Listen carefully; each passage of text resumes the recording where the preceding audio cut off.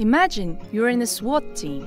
Special weapons and tactics. SWAT teams are elite groups of people working together to achieve a particular job. They train hard, understand each other, totally committed to looking after each other, and they play to win. Compare this to a normal work team, and you find the bonding is not as great. When dealing with complex unsolved problems, issues, challenges, imagine you are members of an elite SWAT team.